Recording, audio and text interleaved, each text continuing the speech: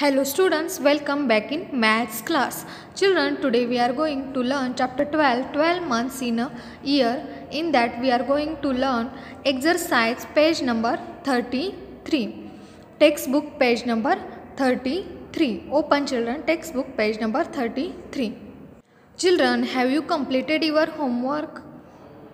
Complete the homework in time. Now see, in last video we learned the months and dates. We are revising in this video. See January month has 31 days, February 28, March 31 days, April 30 days, May 31 days, June 30 days, July 31 days, August 31 days, September 30 days, October 31 days, November 30 days, December 31 days. Name the months that have 30 days. April, June, September, November. These months have 30 days.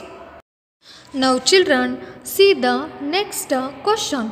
How many months of 31 days are there in the whole year?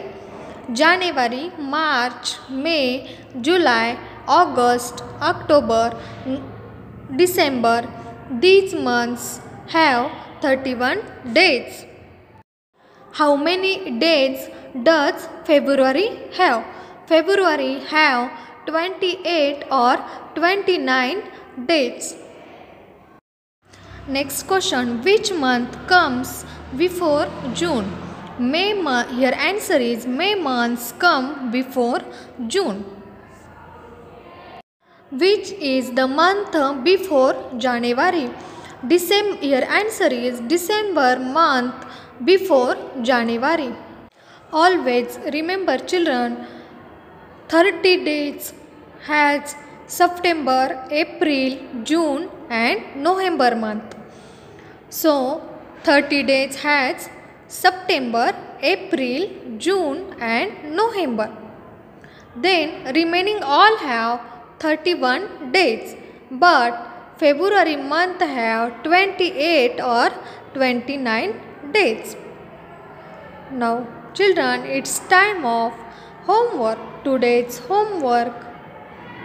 Now children it's time of homework.